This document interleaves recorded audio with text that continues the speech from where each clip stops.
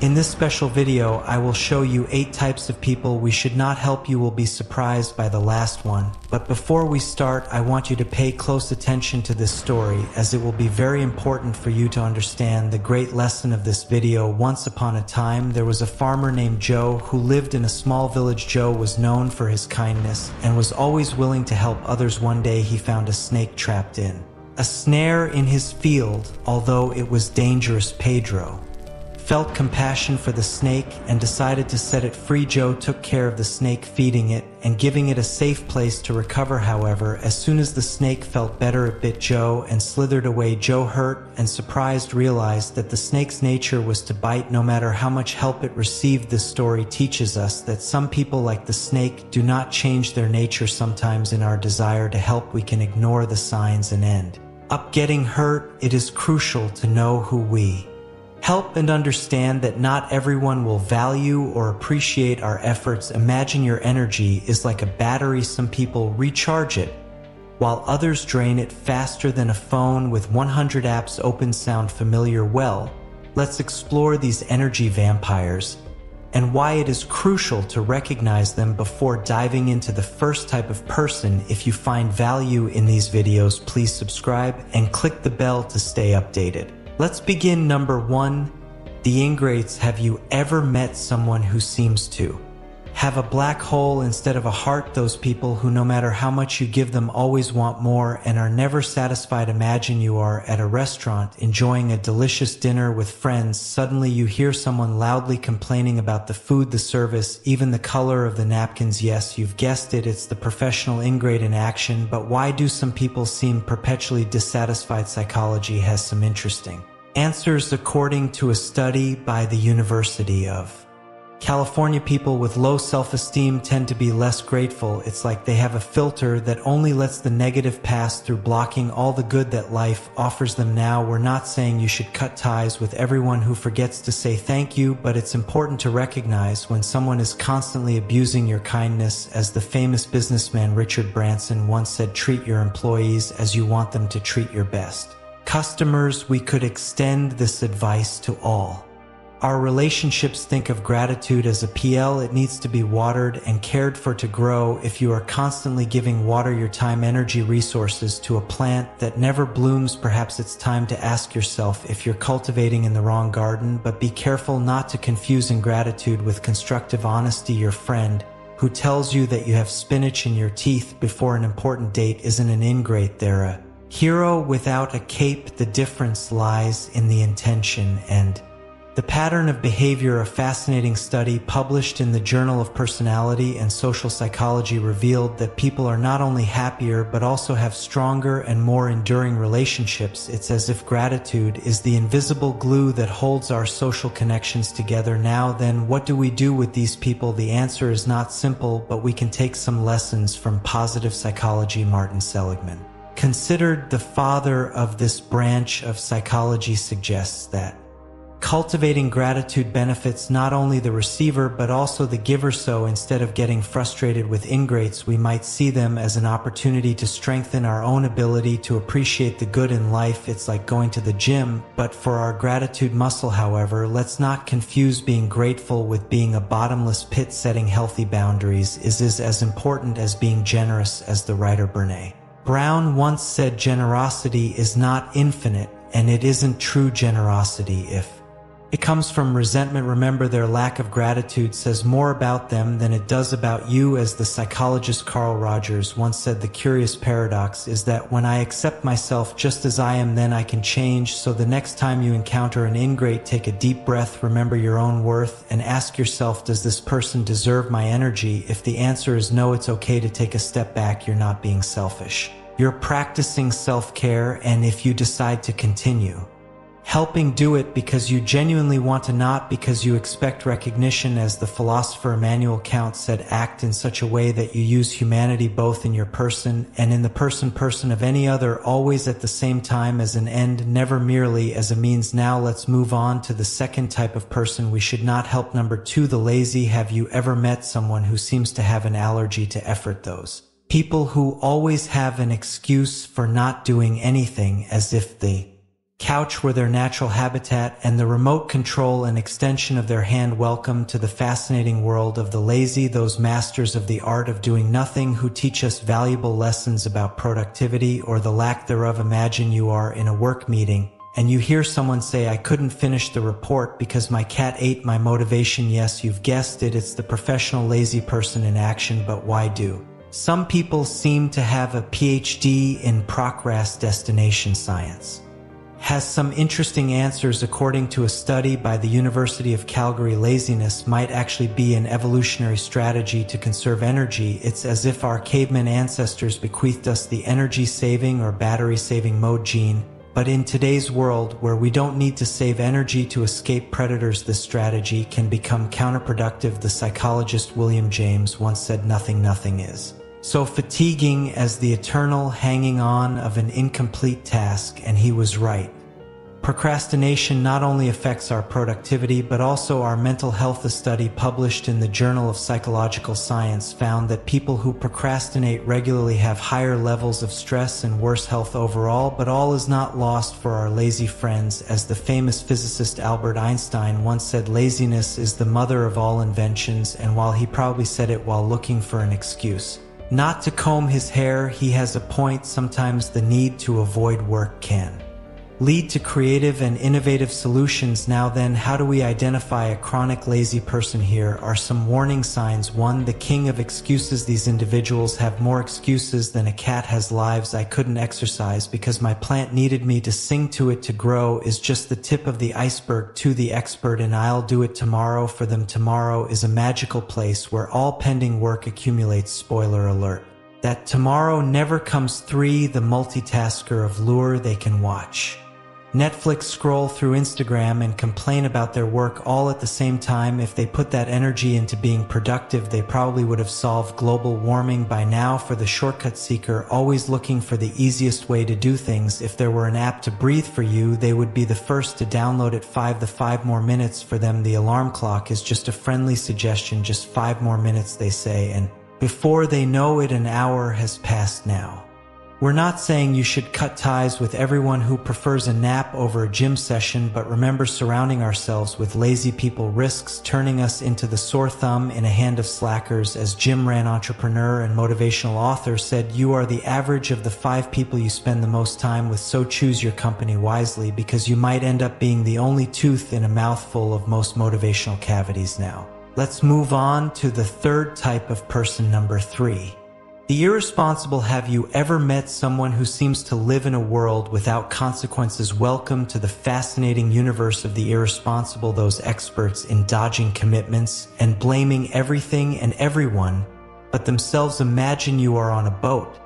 And suddenly you notice there's a hole in the hull and water is starting to pour in, while you and the rest of the crew are desperately trying to plug the hole and bail out the Water you see someone sitting calmly on the deck, sunbathing and saying it's not my problem, I didn't make the hole that my friends is the irresponsible in their natural habitat. When we try to help someone with this behavior pattern, we often find ourselves in a frustrating cycle no matter how hard we try to support them. Our help rarely results in significant progress. The irresponsible avoid responsibilities and have an almost Olympic ability to blame others for their own failures. If something goes wrong, even if it is completely unrelated to our intervention, we can end up being pointed out as the culprits. This is not only unfair, but can also take a significant emotional and reputational toll on those trying to help. Therefore, it is essential to adopt a careful approach when dealing with people who behave this. Weigh how an effective strategy is to invite them to reflect on their actions and the consequences they entail instead of solving their problems for them. We can guide them to develop self-evaluation and self-management skills. Neuroscientist Richard Davidson has shown that the brain is incredibly plastic capable of changing and adapting even even in adulthood. So there is hope although they may need a nudge or perhaps a push the size of. An elephant as Nelson Mandela once said education is the most Powerful weapon you can use to change the world in this context education includes not only academic knowledge, but also the ability to assume responsibilities and learn from mistakes. In the end, dealing with irresponsible people is an ex exercise in patience and self-control. As the philosopher Bertrand Russell said, much of the world's troubles are due to the fact that the ignorant are completely sure and the intelligent are full of doubts. So the next time you find yourself dealing with a chronic Irresponsible, take a deep breath and remember at least you have the intelligence to doubt whether you should continue helping them in summary while helping others is noble. There is a limit and that limit generally begins when the other person uses your kindness as a pillow for their laziness. So instead of getting frustrated, consider this as an opportunity to practice the art of the kind but firm no after all sometimes the best way to help someone is not to help them at all before moving on to the fourth type of person, if you're enjoying the video, don't forget to like it and subscribe to the channel with the bell so you don't miss future videos. And if you enjoy this kind of content as much as I do, comment I love wisdom, let's keep learning together and improving our lives number for the manipulators this group presents a unique challenge as they are true artists in the art of manipulating the goodwi of others they exploit. Sincere attempts to help to satisfy their own interests with no intention of reciprocity or genuine improvement. Imagine you are in a chess game, but your opponent has the mysterious ability to move your pieces without you noticing. That's what it feels like to fall into the clutches of a skilled manipulator. But don't worry, today we will learn to recognize their tricks and defend ourselves against their cunning. But why do some people seem to have a PhD in manipulation psychology? Has some interesting answers according to a study conducted by Stanford. University people with narcissistic and Machiavellian traits are more likely to manipulate others. It's as if they have an internal GPS program to seek the shortest path to their own interests, no matter who they have to step on in the process. Now, we are not saying you should wear a tinfoil hat and distrust everyone, but it is important to develop a radar to detect the emotional pirates, as the famous psychologist Robert Cialdini once said the best defense against manipulation is knowledge. Think of your emotional well-being as a fortress manipulators are like invaders trying to infiltrate your defenses. If you don't have a good security system, before you know it, they will be sitting in your living room, eating your nachos and controlling the remote control of your life. So how do we identify a professional manipulator here are some warning signs. One, the emotional chameleon, they change their personality faster than a Teenager changes their mood, they are different with each person adapting to. What they think the other wants to see too, the gaslighting expert, they make you doubt your own perception of reality. Are you sure that happened that way? I think your memory is playing tricks on you. Three, the self-esteem sniper, they make seemingly innocent comments that undermine your confidence. Oh, are you going to wear that well? I suppose if you feel comfortable now, let's go to the fifth type of person, the perpetual critic. They have a knack for finding flaws in any situation or person from your choice of clothing to the way you organize your schedule, they will always have something to criticize. Identifying them can be as easy as listening to their conversations. Their comments are usually negative and destructive rather than constructive. If this sounds familiar, you might be dealing with a chronic critic. Now dealing with them can be like navigating an emotional minefield. No matter how well intentioned your efforts are, they will always find a way to dismantle them with their sharp criticisms like blades, but why are they like this? Studies suggest that chronic critics often use criticism as a way to establish power or control over others, or even as a way to project their own insecurities. It's as if they have special glasses that only allow them to see flaws in everything to counteract their negative impact. It is essential to maintain a balanced perspective. Don't take their criticisms personally, they often say more about themselves than about you try to steer the conversation towards positive aspects or constructive solutions. Sometimes a simple change of topic can be the best defense against their verbal darts. Remember, constructive criticism can be useful for personal growth, but chronic criticism simply erodes self-esteem and undermines confidence by setting clear boundaries and maintaining a positive attitude, you can protect yourself from their negative influence while fostering a more positive and constructive environment around you. Number six, Narcissists, have you ever come across someone who seems to have a mirror instead of a soul? Welcome to the fascinating world of the narcissists, those beings who have elevated self-love to an Olympic level. Imagine trying to fill the Grand Canyon with a glass of water.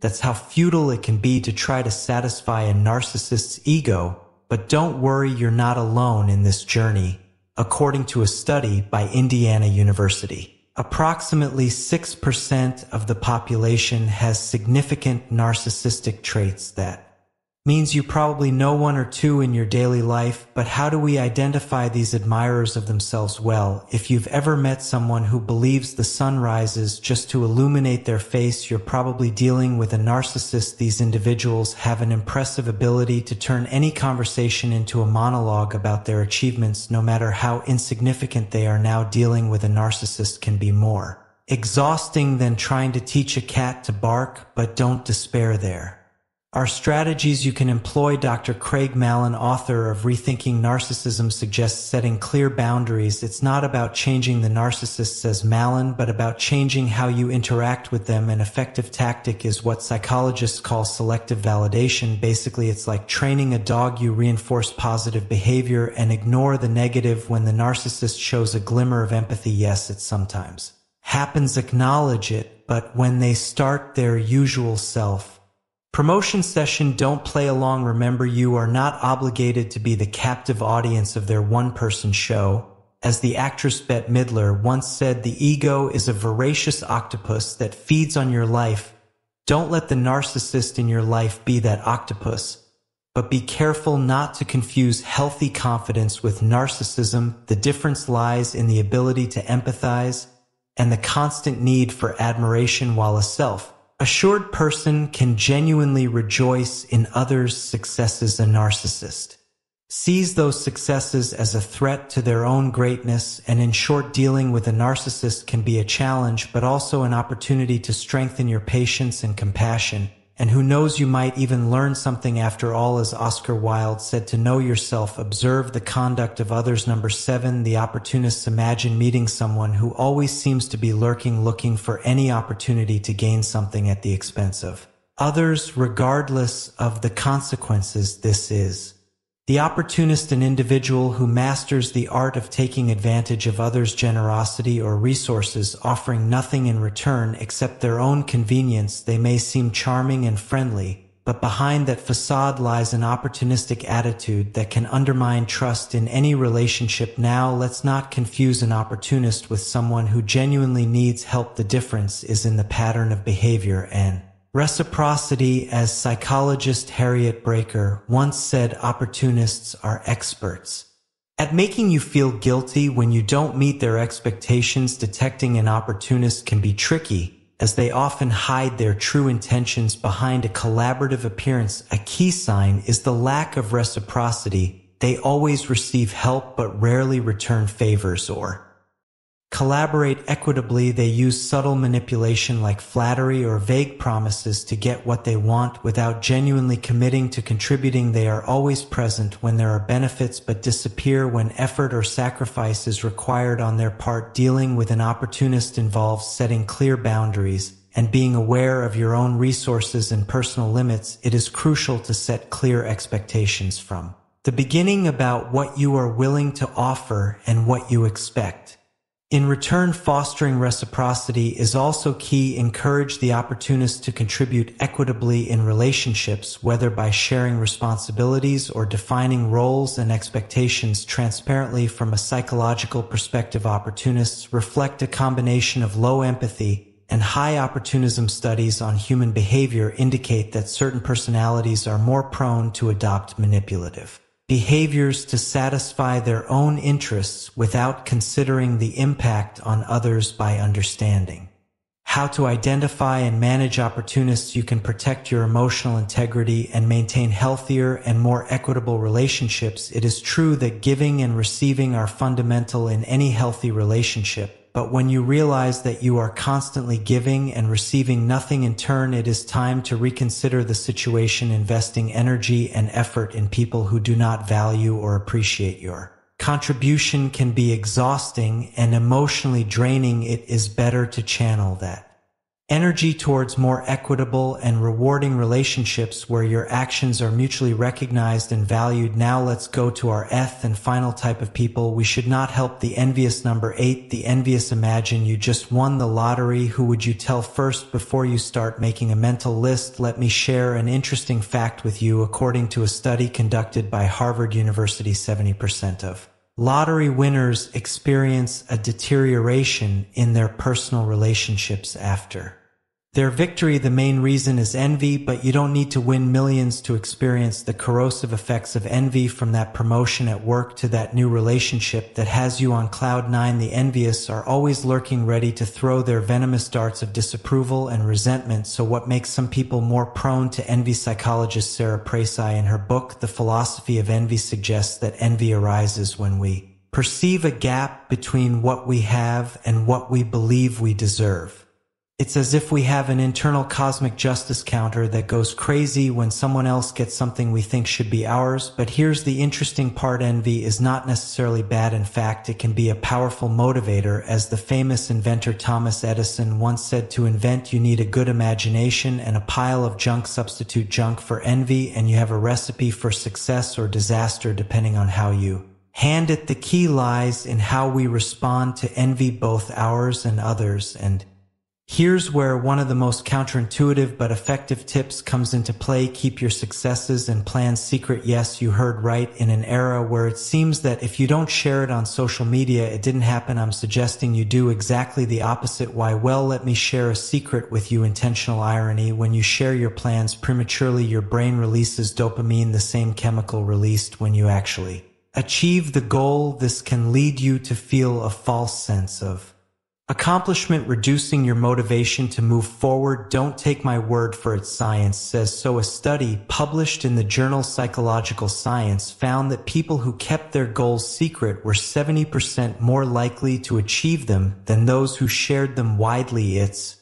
as if the universe has a twisted sense of humor. The more you talk about your dreams, the less likely they are to come true. But there's more when you share your plans. You're not only dealing with your own psychology, but also with that of others. And this is where our envious friends come into play. As writer Gore Vidal once said, every time a friend succeeds, I die a little now multiply that by every person you tell your PL to, and you'll have an idea of the amount of negative energy you might be attracting without realizing it. So what do we do? Do we become hermits and keep all our achievements to ourselves? Not exactly. The key is to be selective as Entrepreneur Richard Branson once said, trust your instincts, be selective. About who you share your dreams with, think of your dreams and plans as a secret recipe. You wouldn't give it to just anyone, right? Only to those people you trust completely. Those you know will not only not reveal it, but will help you improve it. And here's the trick. When you finally decide to share your plans or successes, do it in a way that inspires rather than provokes envy. Instead of saying, I just got an amazing promotion, try saying, I'm Excited about this new challenge at work, the difference. May seem subtle, but the impact on how others perceive your news can be enormous. Now let's go back to our envious friends for a moment. How do we identify them? Well, here are some warning signs. One, the reluctant praiser, their congratulations sound more forced than a bon appetit at a vegan dinner. Two, the professional minimizer, no matter how big your achievement is for them, it will always be luck or not a big deal. Three, the compulsive competitor, your success is just an excuse for them to tell you how. They did it better, faster, or cheaper for the Kaf Saba. They cheer you on in public, but privately do everything they can to derail your plans. Five, the information collector. They always want to know more details, not out of genuine interest, but to find flaws or copy you. Recognizing these patterns is the first step to protecting yourself. The second is developing what I call an oyster mindset. Do you know how oysters produce pearls by? Taking an irritant and turning it into something beautiful in. The same way you can take others' envy and use it as motivation to keep growing and improving. Remember, your value does not diminish because of others' achievement, nor does it increase because of their failures. As writer Mark Twain once said, comparison is the thief of joy. Focus on your own path, your own goals, and your own growth. Envy is often a reflection of others' insecurity. As Eleanor Roosevelt once said, no one can make you feel inferior without your consent, so the next time you feel the envious Gaze of someone smile not because you enjoy their discomfort, but because you have found a sign that you are on the right track. Track in summary, being selective about who you share your successes and plans with is not about being selfish or arrogant. It's about protecting your energy, maintaining your motivation, and yes, also about protecting yourself from toxic envy. As philosopher Bertrand Russell once said, don't worry about what others think.